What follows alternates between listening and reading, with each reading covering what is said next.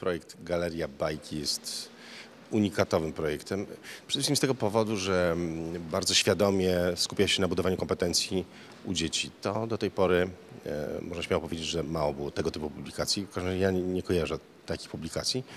A o tyle to jest ważne, że w tym dorosłym świecie, w którym ja też się zajmuję szkoleniami, coachingiem, rozwojem osobistym, przede wszystkim rozwojem zawodowym, e, wydajemy w tej chwili w biznesie mnóstwo pieniędzy, angażujemy bardzo dużo środków i czasu, żeby tych kompetencji ludzi nauczyć. Z jakichś powodów oni nie wynoszą tych kompetencji z dzieciństwa, one są niezmiernie ważne i biznes coraz większą wagę przykłada właśnie do tego typu miękkich kompetencji, a ta książka o tym mówi. Pokazuje je, modeluje, e, zaprasza do myślenia, bawi, robi wszystko to, co jest potrzebne, żeby te dzieci od najmłodszych lat nasiąkały tymi kompetencjami, żeby umiały je stosować w życiu i żeby wiedziały, że są ważne, więc w tym sensie jestem całym sercem naprawdę za tym projektem.